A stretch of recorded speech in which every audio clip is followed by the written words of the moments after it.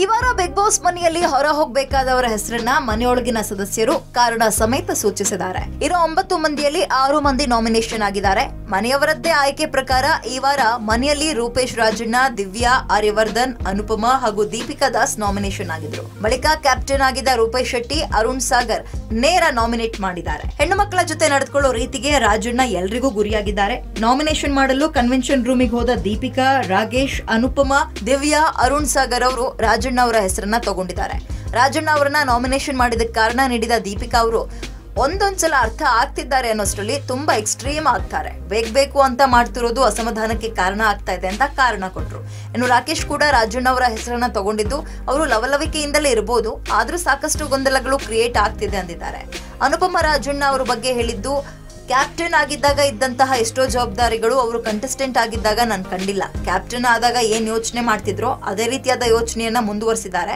ಅದು ನಂಗೆ ಇಷ್ಟ ಆಗಲಿಲ್ಲ ಅಂದಿದ್ದಾರೆ. ಇನ್ನು ದಿವ್ಯಾ ಕೂಡ ರಾಜಣ್ಣ ಅವರ ಹೆಸರನ್ನ ತಗೊಂಡಿದ್ದು ಟಾಸ್ಕ್ ನೀಟಾಗಿ ಅರ್ಥ ಮಾಡಿಕೊಂಡು ಬೇರೆಯವ್ರಿಗೆ ಹೇಳಬೇಕಿತ್ತು. ಅದರ ಜೊತೆಗೆ ಟೋನ್ ಚೇಂಜ್ ಆಗಿಲ್ಲ. ಅವ್ರು ನಡೆದುಕೊಳ್ತಾ ಇರೋ ನಡವಳಿಕೆ ಮನೆ ಸದಸ್ಯರಿಗೆ ಬೇಡವಾಗಿತ್ತು ಅಂದಿದ್ದಾರೆ.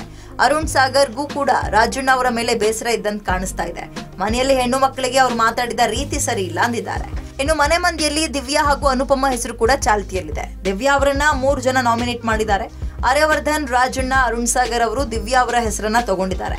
ಆರ್ಯವರ್ಧನ್ ಅವರು ದಿವ್ಯಾ ಹೆಸರನ್ನ ತಗೊಂಡಿದ್ದು, ಈ ಮನೆಯಲ್ಲಿ ಅವರಲ್ಲಿ ಚೇಂಜಸ್ ಏನು ನೋಡಿಲ್ಲ. ಬಂದಾಗಿಂದ ಇಲ್ಲಿವರೆಗೂ ಹೇಗಿದ್ದಾರೋ ಹಾಗೇ ಇದ್ದಾರೆ ಅಂತ ಪರ್ಫಾರ್ಮೆನ್ಸ್ ಅವರಿಂದ ನೋಡಿಲ್ಲ ಅಂತ ಹೇಳಿದ್ದಾರೆ. ಇನ್ನು ರಾಜಣ್ಣ ಅವರು ಫಿನಾಲೆ ಹತ್ರವಾಗ್ತಾ ಇದ್ದಂತೆ ಹೆಚ್ಚು ಎನರ್ಜಿ ಬೇಕಾಗಿದೆ ಅಂತ ಹೇಳಿದ್ದಾರೆ. ಅರುಣ್ ಸಾಗರ್ ಕೂಡ ದಿವ್ಯಾ ಹೆಸರನ್ನ ತಗೊಂಡು ಇನ್ನೂ ಆಟಕ್ಕೆ ಹೊಂದ್ಕೊಂಡಿಲ್ಲ ಅನ್ಸುತ್ತೆ ಅಂದಿದ್ದಾರೆ.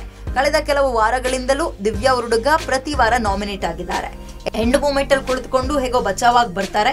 ಈ ವಾರವೂ ನಾಮಿನೇಷನ್ ಸಾಲಿನಲ್ಲಿ ಕೂತಿದ್ದಾರೆ. ಇನ್ನು ಅನುಪಮ ಅವರ ಹೆಸರನ್ನ ಇಬ್ರು ತಗೊಂಡಿದ್ದು ಆರ್ಯವರ್ಧನ್ ಮತ್ತು ರಾಜಣ್ಣ ಅವರ ಹೆಸರನ್ನ ಪ್ರಸ್ತಾಪಿಸಿದ್ದಾರೆ. ಅನುಪಮ ಅವರನ್ನ ನಾಮಿನೇಷನ್ ಮಾಡಿದ ಆರ್ಯವರ್ಧನ್ ಅವರು ಅವರು ಗೇಮ್ ಅನ್ನ ತಲೆಯಲ್ಲಿ ಇಟ್ಕೊಂಡು ಆಡ್ತಾರೆ ಅಂತ ಮರದ ದಿಂಬಿ ಆಟವನ್ನ ಉದಾಹರಣೆಯಾಗಿ ಕೊಟ್ರು. ರಾಜಣ್ಣ ಕೂಡ ಅನುಪಮ ಹೆಸರನ್ನ ಪ್ರಸ್ತಾಪಿಸಿ, ಅವರು ಇನ್ನೂ ಸ್ವಲ್ಪ ಗೊಂದಲದಲ್ಲಿಯೇ ಇದ್ದಾರೆ ಅನ್ಸುತ್ತೆ ಅಂದಿದ್ದಾರೆ. Digital desk public music